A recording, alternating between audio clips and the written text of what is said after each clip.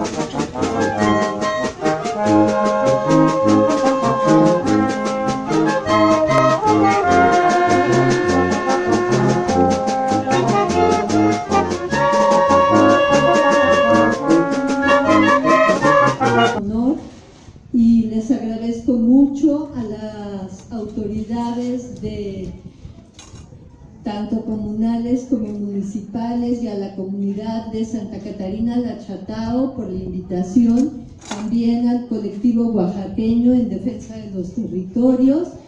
Y es impresionante ver este foro junto a los montes, junto a la gente, junto a toda la maravilla del lugar en el que esto se está realizando. A mí me pidieron que hablara, igual que en este panel, sobre cuál es la política actual del nuevo gobierno hacia la minería y un poquitito nada más sobre la autonomía, porque desafortunadamente no pertenezco a ninguna comunidad indígena en particular. Puedo pertenecer a todas por autodescripción o a muchas, pero pues no.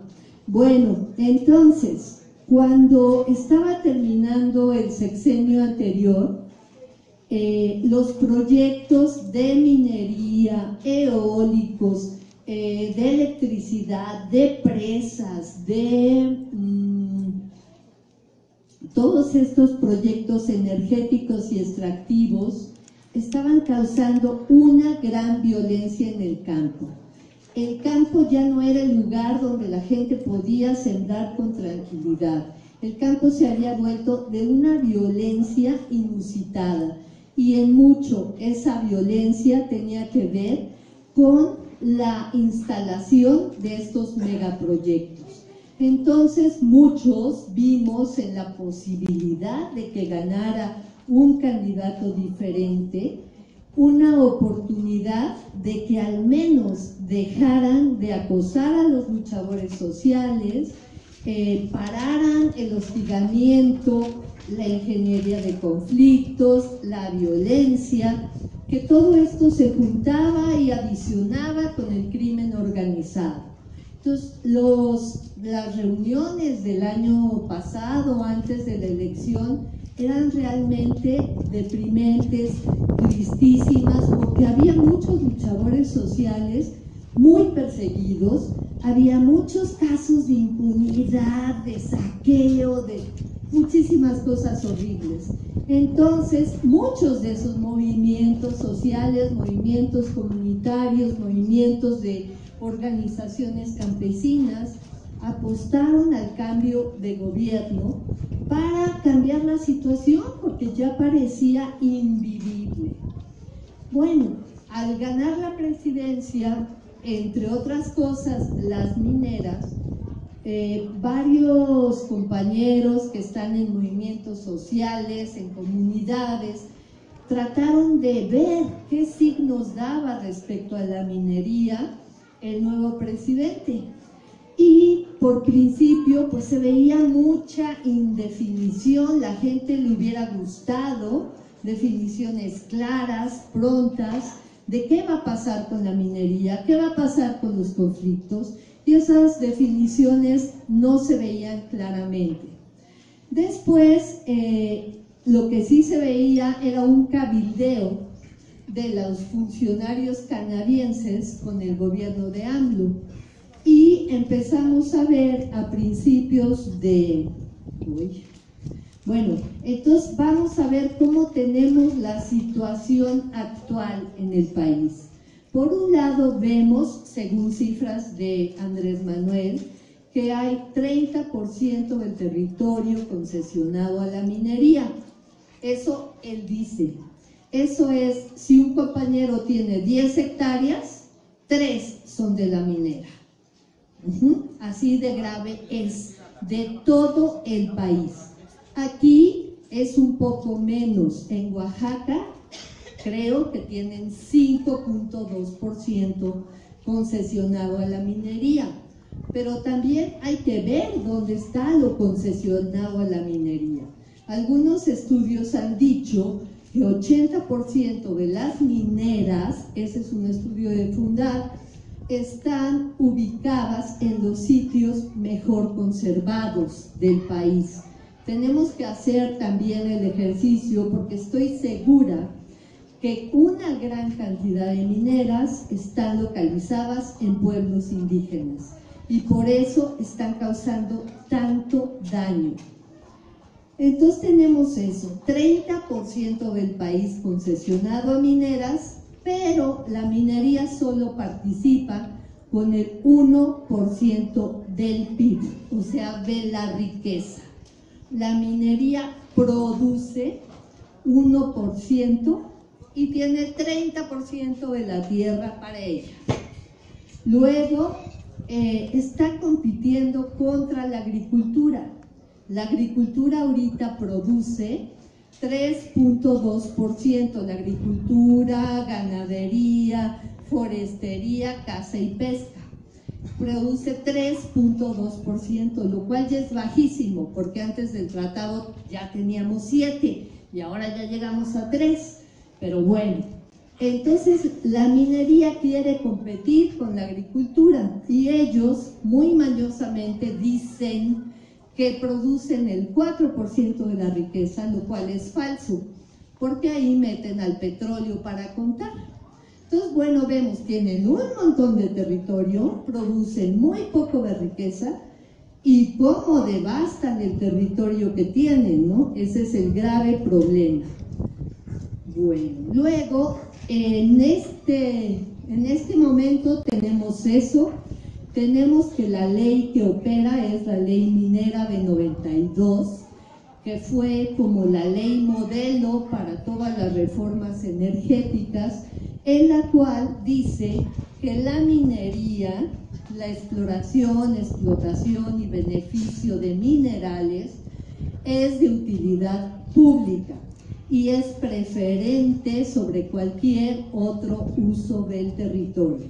O sea, no importa si ustedes tienen, acaban de meter el riego por goteo, llevan sembrando y arreglando su suelo con composta por seis años, si la minera dice que esa es su concesión, la minera, la ley dice que tiene prioridad, pero bueno, en esa época del 92 que este gobierno dice que ya terminó con ese modelo neoliberal, también se cambió la ley de inversión extranjera y ahora es permitido que una empresa con capital 100% extranjero eh, explote la minería en el país. Bueno, con ese marco estábamos y estamos en, en el campo en la, en la elección de Andrés Manuel López Obrador hubo 17.7 millones de votos rurales y AMLO de esos 17 ganó 8.7. Casi la mitad de los votos del sector rural fueron para AMLO, porque la gente estaba intentando hacer un cambio, ¿no? Entonces, bueno, y entonces AMLO al ganar, aunque tiene mucho del Congreso de su lado, se compromete a no hacer cambios a la Constitución en los primeros tres años. Así que va a gobernar con el mismo marco jurídico que ya hablamos, en donde dice que la minería es de utilidad pública y es preferente.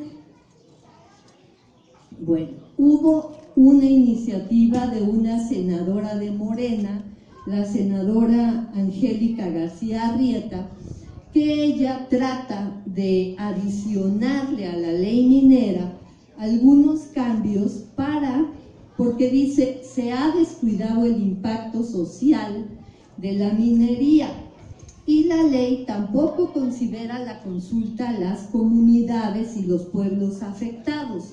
Entonces trata de meter esas cosas en la ley. Bueno, pues ella trata de que la Secretaría de Economía tenga la facultad para declarar que hay zonas que no son viables para la explotación de minería por haber conflictos sociales o que también tenga derecho a cancelar las concesiones por ese motivo, porque haya conflictos sociales. Entonces uno dice, pues estaba buena esa ley, al menos de dónde agarrarse, ¿no? Pero entonces lo que pasa es que la bolsa de valores se cae y las dos principales empresas mineras que operan en México, bueno, mexicanas, entre comillas, que es el Grupo México, que es el culpable del derrame en el río Sonora, y el Grupo Peñoles, que tiene minas, por ejemplo, la Capela en Guerrero, sus acciones se caen. Y entonces los empresarios empiezan a presionar, a presionar, que no, que esa ley no, que esa ley va a afectar a la inversión y que el sector minero está muy afectado. Entonces, los senadores también de Morena, uno que es Monreal, que hizo su horrorosa ley agraria, que trata de armonizar con la ley de hidrocarburos y energéticas. ¿No se oye? Ah, ya. Uh, bueno. Y Armando Guadiana, que es un empresario minero de Coahuila, salen para la iniciativa y Guadiana todavía dice, a mí me dijeron los canadienses, los mineros canadienses y los mexicanos, que entrara a poner orden. Entonces, senadores del mismo partido paran una ley que podría beneficiar un poco. Eh, el gabinete de AMLO, según dice eh, Juan Carlos Ruiz Guadalajara, es un gabinete pro minero, o sea, es favorable a la minería. La Secretaría de Economía, Graciela Márquez, puso como subsecretario de Minería a una persona que se llama Francisco Quiroga, que fue funcionario de Sevillo y de Fox y que ha trabajado para los corporativos mineros como para ArcelorMittal, contra quienes están peleando los compañeros de Ixtamatitlán, Puebla, o Grupo Villacero. Entonces este señor ya en funciones, porque para el 9 de diciembre eh, ArcelorMittal se lo lleva a la Sierra Norte de Puebla, a donde las comunidades tienen un amparo. Y le empieza a hablar a la gente que puso el amparo, diciendo que AMLO apoya este proyecto de minería y, este, y no le importa que, que esa gente tenga un amparo ganado en contra de la minera.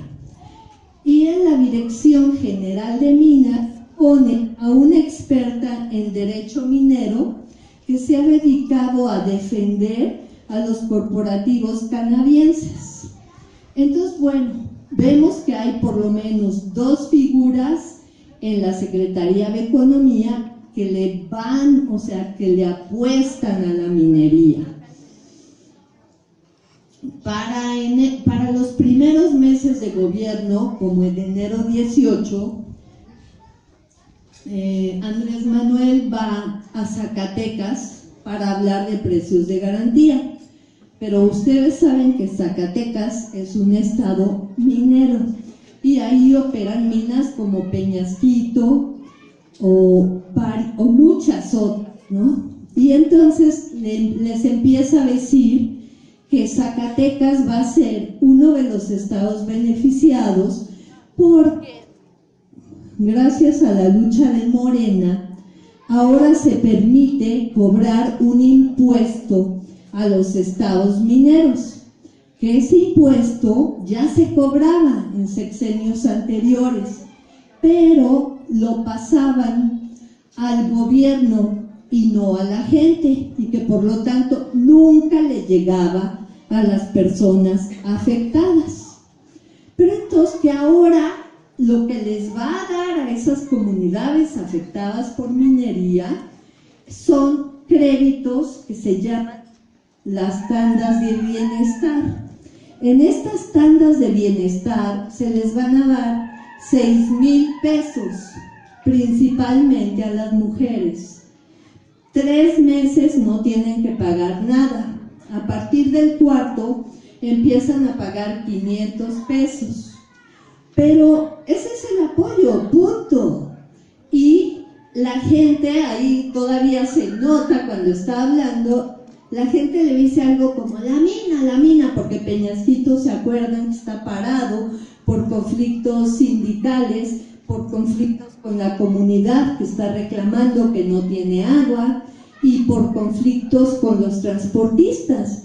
Y entonces él sale al paso diciendo que este es el gran beneficio. Y la gente, a diferencia de muchas veces que le aplauden y le aplauden, ahora no le aplauden. O sea, como que se quedan un poco desconcertados de que pareciera que trata de tapar el desastre que ha provocado la minería con, limosnas que son estas tandas de bienestar, ¿no? Luego, pero hay una cosa, el 4 de marzo, va a Baja California Sur. Antes ya había estado en La Paz, la gente lo recibe igual gritándole, eh, vida sí, agua, mina no, vida sí, agua, mina no. Y entonces, el 4 de marzo dice, llegaron la época de las definiciones y ahora voy a cancelar el proyecto minero de oro Los Cardones en la Sierra La Laguna, que está concesionado a la empresa Desarrollo Zapal, subsidiaria de Invecture Group, filial de Frontera Mining. Bueno, al decir eso, pues la gente dice, ¿y por qué ese sí? ¿Y por qué los otros no? Entonces él dice, bueno, lo del aeropuerto lo puse a consulta porque lo iniciaron los otros gobiernos. Lo de la termoeléctrica La Huesca, que al ratito hablamos un poco más, también lo puse a consulta porque también lo iniciaron los otros. Pero este me tocaría a mí. Y yo digo no a la mina. Punto. Y entonces es porque tenemos que cuidar el paraíso. Si la gente vive del turismo, tenemos que cuidar el turismo y si la gente tiene falta de agua en Baja California, que ustedes saben es un desierto, la mina se quiere instalar, instalar en la reserva de la biosfera La Laguna, que es en la sierra, en de los pocos lugares altos verdes, ahí se quiere instalar la mina, y entonces por eso la gente se puso tan en contra y porque está atentando contra su captura de agua, ¿no? Y entonces él dice, sí, tenemos que cuidar el agua, tenemos que cuidar la naturaleza, tenemos que cuidar el turismo. Así es de que mina los cardones cancelada. Ahora, yo creo que de esta, de esta experiencia podemos sacar al menos dos cositas esta mina Los Cardones ya estaba cancelada un año antes, no estaba cancelada, estaba suspendida por un juez porque la minera hizo una trampa, metió mal los datos de la manifestación de impacto ambiental, el juez los cachó y le dijo no, suspendida. Pero eso lo había logrado un frente ciudadano que se había estado formando y que había estado peleando. Y entonces, bueno, aunque es el segundo proyecto de extracción de oro más importante de México, los Cardones, AMLO la canceló. Pero antes el Frente Ciudadano había logrado también la suspensión, o sea, sí había un movimiento social y sí había un proceso legal en marcha. A esos dos se juntó y este señor ya dijo, la cancelo definitivamente, ¿no? Bueno. Pero entonces, nuevamente los empresarios se ponen muy nerviosos y mandan al este subsecretario Quiroga para hablar con los empresarios y decirles, si quieren evitar que se cierren las minas, tienen que aceptar las consultas públicas y tienen que pagar los impuestos. Entonces, bueno, lo que trata la Secretaría de Economía es que la inversión minera se haga con desarrollo social.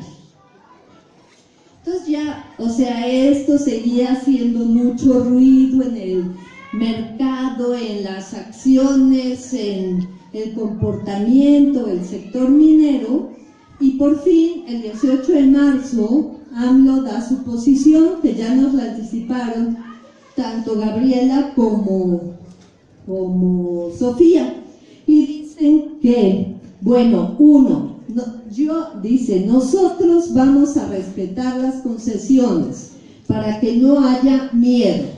Se mantienen las concesiones, no se revocan. Dos, queremos que las empresas mineras canadienses hagan una explotación minera limpia. Eso es imposible. Dice, queremos que actúe como en Canadá, que les paguen bien a los mineros, que eh, paguen impuestos y sobre todo que no contaminen. Pues sobre todo que no contaminen, ustedes saben que eso es imposible, porque la técnica que está utilizando ahorita la minería es una técnica depredadora. Como ya se acabaron las vetas, ahora explotan, las vetas eran esas como corrientes de, mineral que había en los cerros y los explotaban siguiendo la veta. Ahora lo que explotan le llaman nubes de partículas. O sea, hay bien poquitos minerales en un montón de suelo. O sea, necesitan más o menos un millón de gramos de suelo, pues eso no sé cuánto sería, para sacar un gramo de oro. Entonces, por eso la minera destruye cerros completos para poder sacar de ese montonal de tierra las pequeñísimas partículas de oro, de plata, de zinc, de cobre que hay, porque las vetas ya no hay. Entonces, con esa técnica no puede haber minería limpia. Y otro de los problemas de la minería es que al tener todo ese bonche de suelo, ahora lo tienen que lavar. Lo van a lavar usando un montón de agua y un montón de químicos. Esas son las presas de jales, lo que el agua que sobra la van dejando ahí como albercas contaminadas.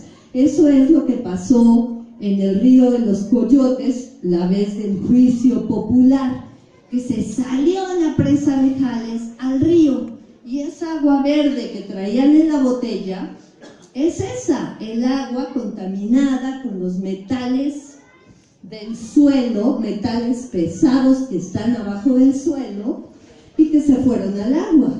Pero cuando no se van al agua, también están volando en el aire y la gente los está respirando y los animales también y las plantas también.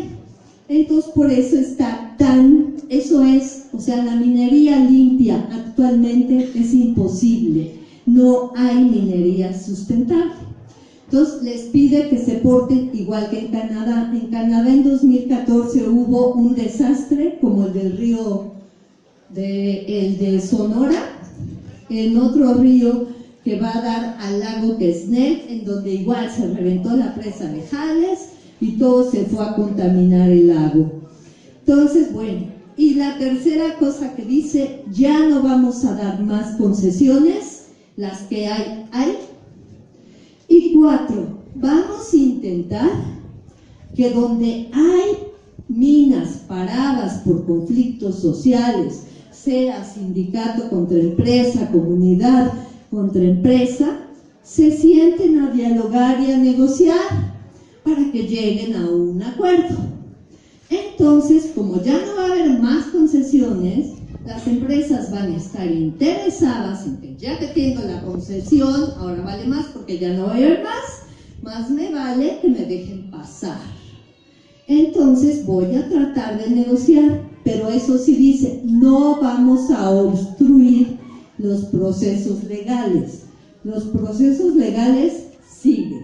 Entonces en eso nada más decir, bueno, esto sería un tanto así, y lo único, otra cosa que quería decir es que hay ciertos procesos ganados por vía judicial, algunas cosas las empresas están poniendo a tratar de poner más obstáculos a esto, como Ixtamaxtitlán, Puebla, espero que luego los compañeros lo expliquen, luego la de Guerrero o el propio Peñasquito, o sea, hay muchos procesos en marcha porque la minería, así de destructora como es, pues nadie la quiere. Entonces, para el gobierno algo fácil es, ay, que se vaya a los lugares rurales, ay, si es una comunidad de mil gentes, ¿qué? Ah, sí, si hay minería bajo Bellas Artes, ¿la va a dejar? Claro que no. Entonces, bueno, nada más la última cosa es que yo creo que este gobierno no es muy proclive o parece estar negado a la autonomía indígena, comunitaria, a los movimientos sociales. Eh, creo que un parteaguas fue la termoeléctrica de Huesca, en donde a gente que lo apoyó, que lo conoce, le dice que son conservadores de izquierda, ultra radicales conservadores. O sea, esos insultos contra el movimiento social, yo creo que no se pueden dar el lujo de hacerlo un presidente, porque eso provoca, pues, que esos defensores del territorio queden muy vulnerables. y entonces, pues, los enemigos que los hay, pues le dieron. Entonces, y después hacer la consulta en ese ámbito, fue otra cosa de muy poco tino político. Luego en las consultas estoy totalmente de acuerdo con Sofía, que las consultas públicas no son consultas indígenas, la consulta indígena que los pueblos están demandando no son las consultas que está haciendo el gobierno y ya hasta la propia relatora de derechos humanos les dijo, esas consultas no son consultas indígenas, ni cumplen las reglas internacionales de ser libres, previas, informadas, de buena fe, culturalmente adecuadas. Y además dice la relatora, y eso es buenísimo, y que se hagan para buscar el consentimiento de los pueblos indígenas. O sea, si no hay consentimiento, no vale. Entonces la cosa es, yo creo que no hay que bajar la guardia, yo creo que lo que están haciendo es excelente, que en Oaxaca se ha formado un frente y una fuerza muy grande y que no porque haya cambiado el gobierno, por lo que se ve, van a cambiar las cosas, sino que hay que seguir construyendo la autonomía como ustedes lo han hecho todo este tiempo. Muchas gracias.